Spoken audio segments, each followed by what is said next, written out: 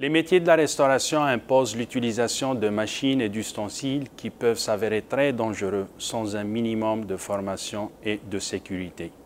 Dans ce cas-là, on va parler du mélangeur-batteur. Pour le mélangeur-batteur, on a différents accessoires avec le bol. Pour le mettre en marche, on prend exemple le fouet. Et on va placer la cuve et le fouet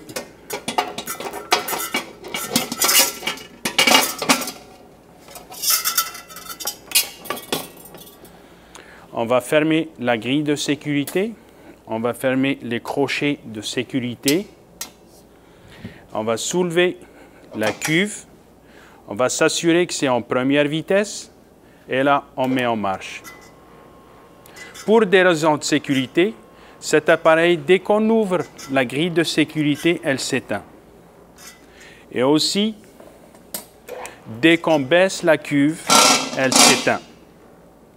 Pour l'enlever, on ouvre la grille de sécurité, on baisse la cuve, on ouvre les crochets, on soulève le fouet avec une petite rotation pour l'enlever. Et là, on enlève la cuve.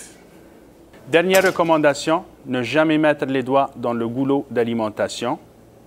Toujours débrancher l'appareil quand on finit avec et bien la nettoyer et la maintenir en propreté impeccable.